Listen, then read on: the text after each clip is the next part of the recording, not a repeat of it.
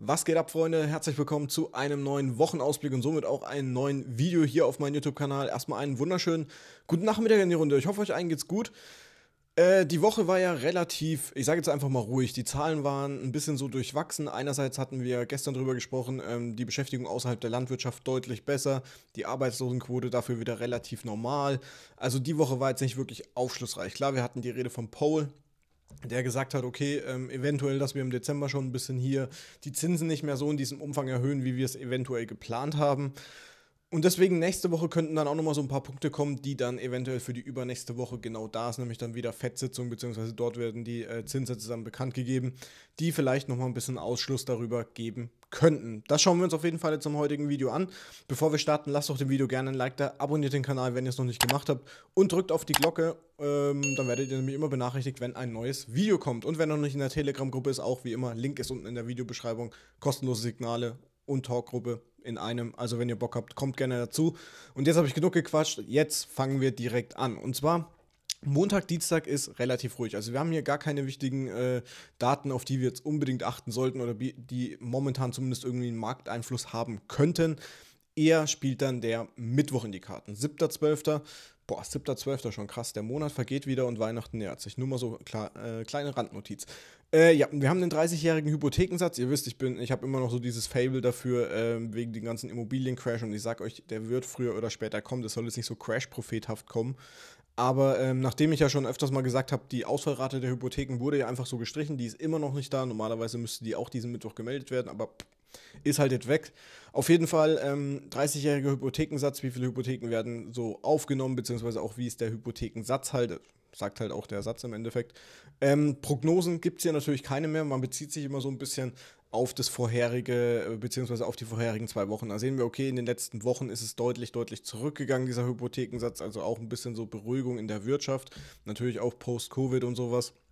Also nach Corona nimmt das alles wieder ein bisschen ab. Äh, der Wirtschaft geht es wieder ein bisschen besser, aber genau das ist auch das Problem. Wir haben über die ähm, Beschäftigung außerhalb der Landwirtschaft gesprochen, wo Paul auch gesagt hat, das sind so Zahlen, die sind uns einfach noch zu gut. Wir bräuchten eigentlich viel, viel mehr Arbeitslose, wir bräuchten einfach viel, viel schlechtere Zahlen. Das klingt absolut krank in einem normalen Menschenverstand. Sagt es draußen irgendwelchen Leuten, ey, sorry Leute, haben so viele Beschäftigte, kommt bestimmt nicht gut an. Ne? Also nur mal so. Und was dann auch noch dazu kommt, ist die Hypothekenanträge. Auch hier hatten wir letzten, letzten Monat ein deutliches Minus. Überraschenderweise, nachdem wir vorher 2,2% mehr Anträge hatten, hatten wir mal wieder ein Minus. Also auch hier sieht man, okay, der Wirtschaft geht es eigentlich relativ gut, nachdem auch die Stundenlöhne ähm, überdurchschnittlich gewachsen sind jetzt auch am Freitag, beziehungsweise wurden ja die Zahlen auch bekannt gegeben, sieht man auch hier, okay, Wirtschaft geht's gut, Fett muss nicht unbedingt die Zinsen jetzt hier äh, erhöhen.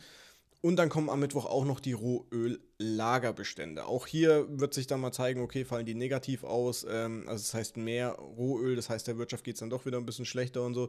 Wird sich einfach zeigen. Aber da sind die Zahlen auch ziemlich, ziemlich durchwachsen. Werden auch alle zwei Wochen gemeldet. Also wird es meines Erachtens auch nicht diese riesen Auswirkungen haben. Prognose liegt hier bei äh, minus 2,7 Millionen. Schauen wir mal, ob das erreicht wird. Also da lehne ich mich jetzt erstmal nicht so weit aus dem Fenster. Und da kommen wir auch schon zum ersten Chart und zwar nimmt die XY. Sollten nämlich die Hypothekenanträge besser sein als erwartet, das wir, kann ich euch auch immer hier nochmal zeigen, warte, wo hier überträgt, äh, da steht, äh, wenn die Hypothekenanträge höher aus, als erwartet ausfallen, das heißt, wir kriegen hier ein Minus von 0,7 oder am besten noch ein Plus rein, führt das auf den Devisenmärkten zu einem steigenden Kurs des US-Dollars. Und deswegen starten wir jetzt nämlich auch mit dem, denn wir sind hier aus unserem Support ausgebrochen. Wir hatten nochmal so eine kleine Erholung, das war da, wo wir äh, drüber gesprochen haben mit Pole und sowas, dann auch mit den äh, Beschäftigung außerhalb der Landwirtschaft gab es auf jeden Fall nochmal so einen kleinen Push, der wurde sofort wieder abverkauft. Und jetzt haben wir diese eine grüne Box nach unten hin verlassen. Ihr könnt euch daran erinnern, ich hatte vorher diesen äh, doppelten Boden da drin, wo wir drüber gesprochen haben, so mit diesem Tief und dann eben dieser Erholung. Ist meines Erachtens immer noch drin. Nur, dass wir jetzt hier die nächste äh, Kaufzone hier im Endeffekt äh, antesten werden, wahrscheinlich hier bei 104,143. Das ist so der nächste Support, den wir hier haben. Ich sage jetzt mal linientechnisch habe sich die ganze Box wieder eingezeichnet, weil es mir einfach zu groß war. Und sollte diese aufbrechen, wird wahrscheinlich der Dollar doch nochmal ein bisschen einbrechen, bis auf 103 Punkte oder 103 US-Dollar, wie man es auch nennen möchte. Und das hat natürlich dann wieder Auswirkungen auch auf die traditionellen Indizes. Wir wissen jetzt, okay, Montag, Dienstag könnte auf jeden Fall noch ein guter Wochenstart sein, weil halt eben sehr, sehr wenige News kommen. Und da lohnt sich dann vielleicht auch so ein kleiner Blick schon mal, jetzt waren wir beim DXY, auf den SPX. Und da haben wir nämlich auch letzte Woche drüber gesprochen. Da habe ich euch gesagt, okay, wir haben hier ein relativ großes CME-Gap. Das wurde fast genau auf den Dollar, minimal ein bisschen drüber, wurde es auf jeden Fall abgeholt und wir wurden hier mit einem Daily Close genau an dieser Trendlinie von unserem Falling Broadening Wedge zurückgewiesen. Und auch am Freitag ging es dann nochmal deutlich nach unten, wobei man hier sagen muss, okay, wir haben jetzt hier erstmal den Retest unseres Golden Pockets, nachdem wir hier diesen impulsiven Pump hatten wird sich jetzt zeigen, ob wir Montag, Dienstag wirklich die Kraft haben, hier diese Zone rauszunehmen bei ungefähr 4100 Punkten, wo unser Hoch gelegen hat. Schaffen wir ein Daily Close darüber, ist es ein gutes Zeichen.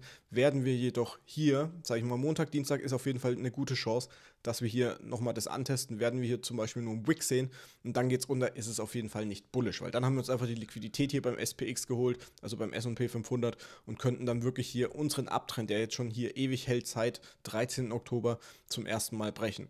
Könnte wirklich möglicherweise das Ende der Jahresendrallye sein. Wir haben zwar noch drei Wochen in diesem Jahr, aber wir kommen hier wirklich an dicke, dicke Widerstände. Wir haben es auch, ähm, können wir auch noch mal gleich einen Blick dazu werfen zum Dow Jones 30.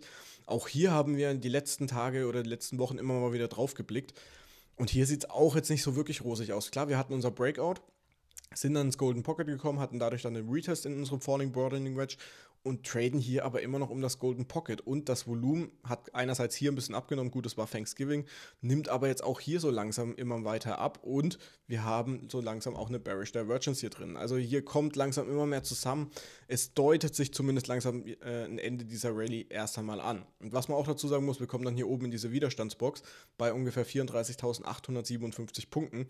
Das wäre dann für Montag und Dienstag, weil eben die Newslage sehr, sehr wenig hergibt. Da nochmal ein Indikator, okay, wir gehen hier nochmal hoch in diese Box, die vorher hier immer wieder Widerstand war, kurzzeitig mal Support, aber sonst an diese Widerstandsbox ist extrem, extrem wichtig. Geht bis ungefähr 35.377 Punkte.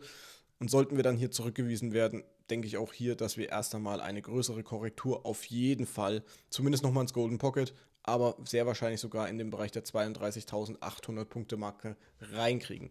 Was meine ich mit großer Korrektur? Vom jetzigen Punkt aus wären das ungefähr 5%, ist jetzt nicht mehr die Welt. Wir sind aber auch ehrlich gesagt nicht mehr weit von unserem Alltime High entfernt. Wenn wir jetzt mal vom jetzigen Stand ausgehen, äh, sind wir noch bei 7,5%. Also auch diese Woche wieder so ein Plus von 1,5%, aber ihr seht halt auch, die Luft geht langsam hier etwas raus. Und darauf müssen wir auf jeden Fall achten.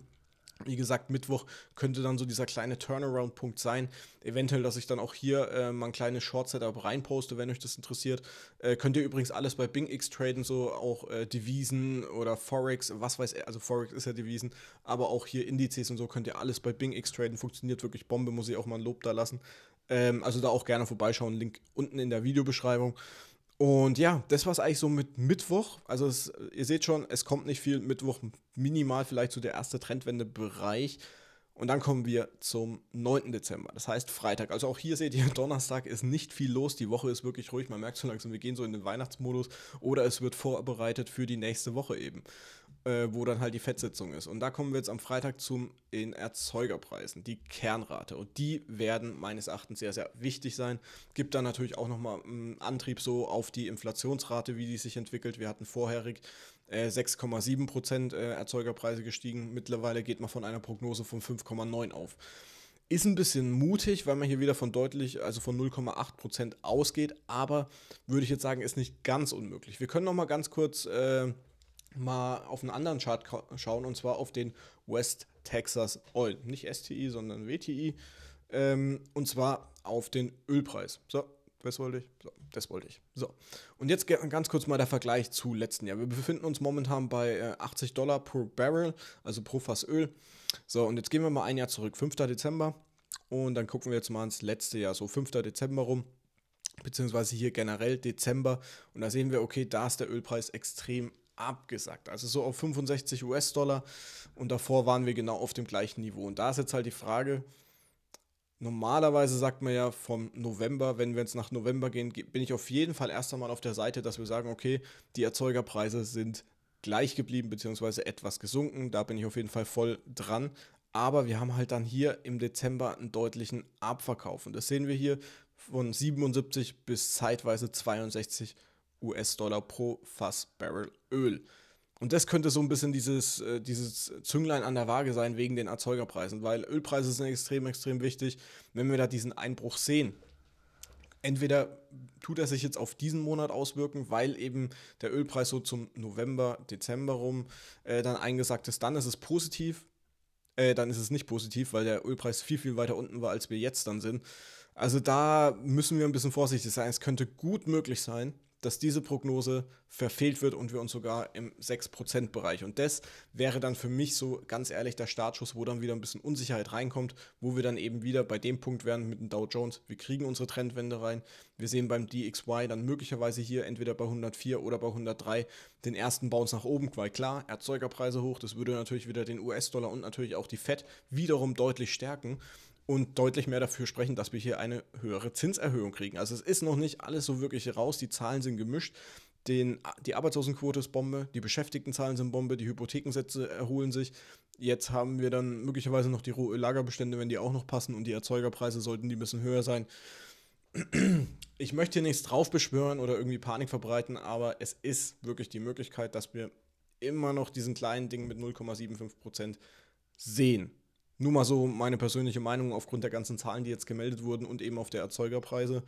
Also da würde ich auf jeden Fall erst einmal drauf achten. Gut, dann haben wir das. Wir können noch ganz kurz auf den NDX schauen. Schauen wir auch mal ganz kurz hier. Befinden wir uns bei 11.994 Punkten.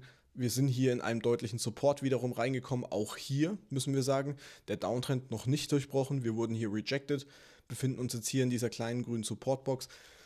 Und ja, ihr seht auch hier, der Downtrend, genauso wie beim SPX, wurde getroffen, beziehungsweise jetzt erst, erst einmal so eine kleine Abweisung. Und da wird sich auch dann nächste Woche zeigen, okay, schaffen wir es, nochmal so ein kleines höheres Hoch zu bilden, Rejection von hier oben und dann möglicherweise hier unten haben wir nämlich auch noch so ein kleines CME-Gap, ob wir das dann füllen. Also für mich momentan nächste Woche so die ersten zwei Tage noch ein bisschen bullischer, Märkte könnten nach oben gehen und dann müssen wir uns so langsam möglicherweise darauf einstellen, dass diese Jahresend-Rally doch nochmal so einen kleinen Klaps kriegt und wir zumindest mal ein paar Prozent abgeben. Aber gut, nach so einer Rallye, vor allem beim äh, Dow Jones, ist es ehrlich gesagt nicht verwunderlich, dass hier auch einmal ein paar Gewinnmitnahmen, vor allem in Richtung Weihnachten und sowas, mitgenommen werden. Dann noch so ein ganz, ganz kleiner Blick auf Bitcoin, weil hier hat sich ja auch sehr, sehr wenig getan. Also wir traden hier an eigentlich einer wichtigen Stelle und zwar die 17.200 US-Dollar ist eigentlich die Zone, auf die es wirklich ankommt. Schaffen wir einen Daily Close darüber, könnten wir ohne Probleme in Richtung 18.119 US-Dollar kommen, weil hier liegt unser letztes Hoch. Wir haben hier noch eine schöne Widerstandszone. Das wäre dann wirklich der nächste Pump-Bereich, den wir uns dann vorstellen können. Es könnte relativ flott gehen, weil wir halt eben hier nur Abverkaufsvolumen haben. Also da müssen wir ein bisschen drauf achten. Kriegen wir einen Daily Close über die 18, äh, 17.200 US-Dollar? Wichtig, und richtig, dass wir dann möglicherweise wirklich einen Pump kriegen. Klar, das Volumen muss noch dazu passen, aber ansonsten sieht es sehr, sehr gut aus. Und ansonsten, wie gesagt, Volumen etwas abnehmend. Wir haben äh, keinerlei Divergenzen, gar nichts. Aber ihr kennt mich, ich gucke viel, viel gerne noch auf diesen äh, Bereich beim äh, Binance-Start. Und hier haben wir nochmal so einen Retest vom unteren äh, Triangle bekommen, beziehungsweise Falling Wedge. Eigentlich ganz gut, nochmal Retest hier außerhalb und jetzt kam der Pump. So. Was mich hier aber weiterhin ein bisschen verunsichert, und ihr kennt es, ich habe schon sehr, sehr oft angesprochen, ist einfach dieses krasse Kaufvolumen hier unten. Ne? Und das war eigentlich der Grund, warum wir hier oben, wir hatten sehr, sehr viel Volumen, mehr als im Bullenmarkt. Also nochmal zur Erinnerung, wir hatten hier sehr, sehr viel äh, Kaufvolumen in diesem Bereich. Und daraufhin kam eben dieser verdammte Crash. Gut, hat mit FTX zu tun und sowas, kann man auch sagen, aber wir haben immer drüber gesprochen, okay, dieser Bereich hier unten, dieses Tief wird nochmal geholt, weil hier einfach zu viel Akkumulation ist. Und jetzt sehen wir auch hier wieder mit dieser Candle bei ungefähr 16.500 US-Dollar, die hier gestartet hat am Tag, wieder sehr, sehr krasses Kaufvolumen hier. Und das ist immer noch das, was mich ein bisschen verunsichert. Da kommen so viele Käufer rein. Ich sage jetzt mal, die Candles hier unten lassen sich noch austragen, weil hier mehr Verkaufsdruck war. Aber ich sag mal so, dieser Bereich um 16.000 US-Dollar oder 15.800 US-Dollar, wo wir auch in den kleineren Timeframes noch unsere Vektoren haben, ist für mich immer noch so ein Bereich, den wir holen sollten, solange wir hier keinen Close über 17.200, 17.250 US-Dollar sehen.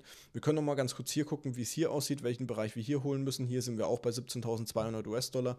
Sehen wir auch ganz gut, wir wurden hier minimal auf den Dollar, haben wir kein Higher High bekommen.